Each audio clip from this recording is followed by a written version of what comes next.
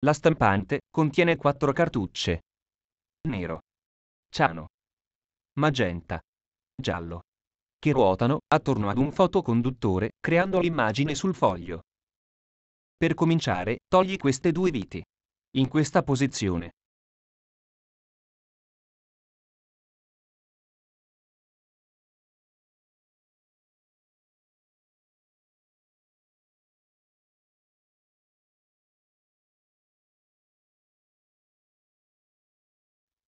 Togli il fianchetto bianco. Adesso sfila il cilindro di sviluppo con le sue due boccole bianche. Attento a non perdere l'ingranaggio del rullo. E questo piccolo feltro.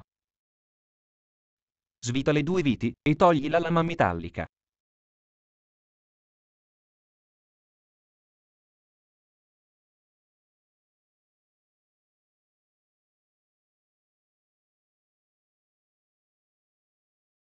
Pulisci tutto il toner vecchio rimasto nella cartuccia. Se hai una cappa aspirante e aria compressa è meglio. Oppure si può usare un aspiratore. Altrimenti, pulisci la cartuccia il meglio possibile, all'aperto. Il cilindro di sviluppo si può pulire molto delicatamente con un panno soffice e alcol isopropilico, che è un tipo di alcol a veloce evaporazione, che non lascia residui. Pulisci la lama metallica. Potrebbe esserci del toner incrostato, che causerebbe problemi di stampa. In questa zona si può mettere un sigillo. Ma se intendi utilizzare la cartuccia per la tua stampante, non è necessario. Versa il toner in questo modo.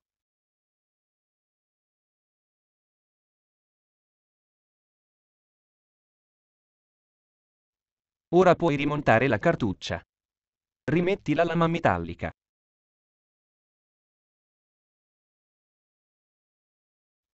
Reinserisci il cilindro di sviluppo. E il suo fianchetto laterale, con le sue due viti. Questa lama di metallo deve essere regolata. Altrimenti potrebbe causare copie troppo chiare, oppure con fondi scuri.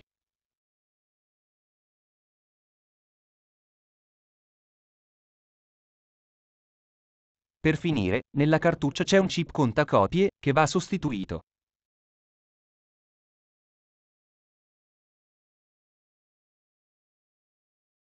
Per bloccare il chip contacopie, metti una goccia di colla. La ricarica è completata. Per stampare una pagina di prova. Tenere premuto questo tasto per 3 secondi. Difetti ripetitivi della stampante HPCP 1025. I difetti ripetitivi sono quei difetti che si ripetono sul foglio, a distanze regolari.